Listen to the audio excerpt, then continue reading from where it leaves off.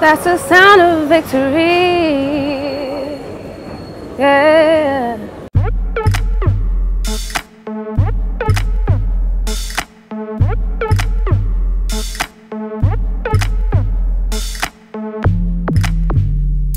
Karungari, um, I've heard so many different meanings. I don't know what it means, but I think it's a, a little energetic child or straight, whatever that means, like a straight line.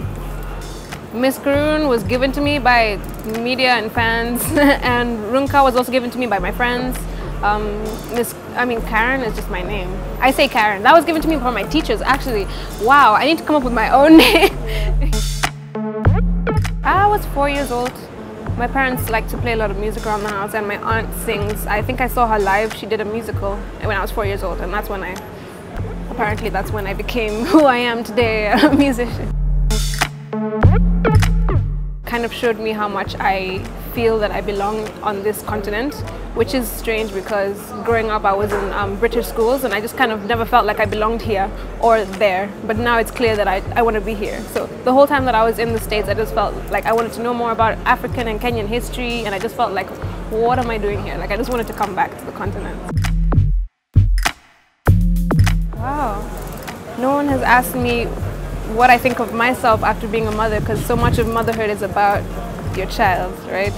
So what I think of myself, I think I just value myself a lot more because I have to be happy and healthy for my child. So mental health comes first. I, I don't really go anywhere that I don't want to go that people are like, oh, you need to come for this party, you know, stuff like that. So I think I'm just a lot more grounded in myself now that I'm being a mother. Like there can be several books on motherhood, but First of all, every mother is different and every child is different. So even if you're like one mother with like five different kids, you're gonna raise them differently depending on how they are. So it's like very I don't think anyone should ever tell any mother how to mother a child. It's it's so broad. Like I have friends who are also artists who are also young mothers, and us guys we just like share stories, and it's like what? We're so different. Like some of us sleep in the same bed as our kids, others they can't because they won't sleep, and then some of them they're kids.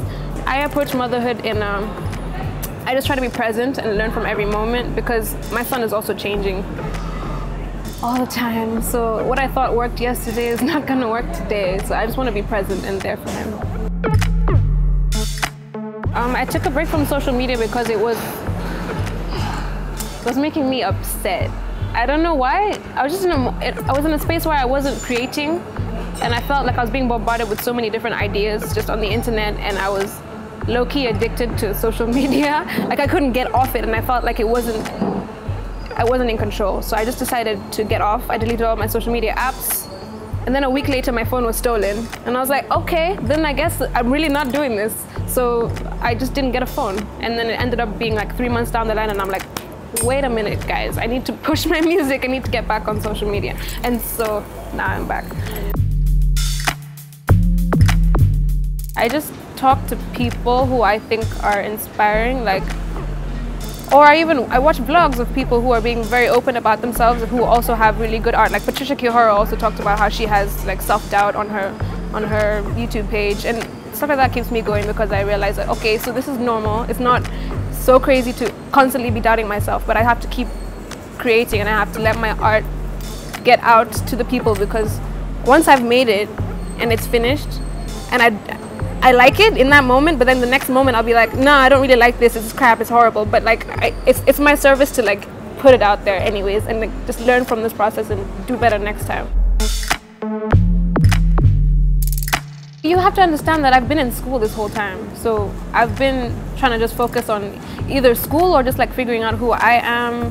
And traveling also shows you a whole different side of yourself. So it's been like a self-discovery process. So people feeling like I'm not so consistent with releasing my music. First of all, in, in that space as a student, it wasn't my business. It was, it's not like my work. It's just my passion. So I release music whenever I feel confident and whenever I feel ready to release music.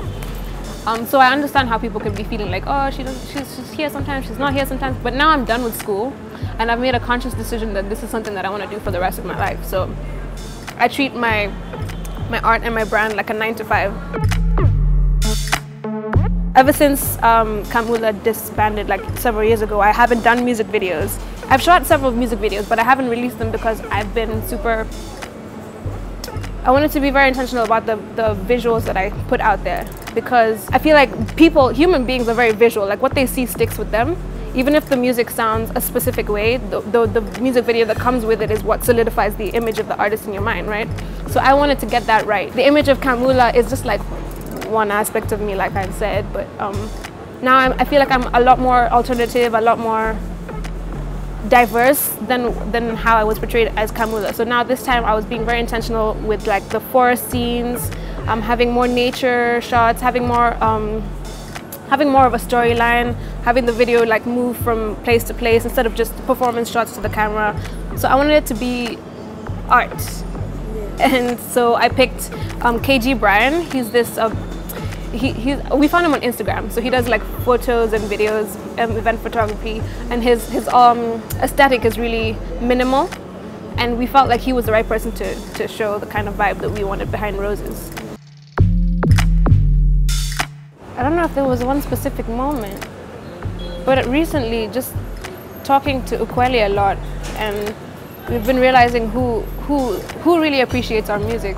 I mean, like, it can be hard in Kenya because the way it's worked has been just like so narrow and so trying to be a musician is like people ultimately want to put you in like that that narrow lane otherwise you're not going to be successful or you're not successful but people like blinky bill Muthoni the Drummer Queen and ea wave they like do shows all over the like all over the planet but like in Kenya, you don't have to really know them that much. And I, I, that, that kind of switched something in my brain because Camp Mulla days, everyone knew me, so I felt like that's what made, made that's what success meant. But I didn't feel successful. But now like making music where I'm targeting a specific the people who really want to hear the music and then getting the feedback from them like they really do appreciate the music and finding places where I can perform and just just just this this this healthy energy that that's really changed everything for me. Stories of outliers. Have you read the book Outliers by Malcolm Gladwell? I haven't, but I know it. I should read it. You've heard about it? Yeah yeah so just outliers in general. Not not even the book just people who are doing things that people once thought were not possible and just like breaking boundaries in every aspect. But i like design. I like the design world a lot like architects stage designers just people who are doing things in a visual way that's really cool and out of the box. All the stars SZA and kendrick. I've followed her since the first ep she ever dropped. Yeah I don't know. I cry a lot less these days. I don't know why. I thought I'd be one of those moms who's just crying all the time. But I've, I've, I've, developed like layers of skin. Like I'm so tough. So I, I don't know the last time I've cried. But I know the last time I cried, it was a healthy cry and I was with my mom and we were just talking. Yeah. well, actually, you know what? If I wasn't a musician, I'd probably be a tattoo artist. Mm. Yeah. How many tattoos do you have? What? Okay, one, two, three, four, five, six, around seven, seven.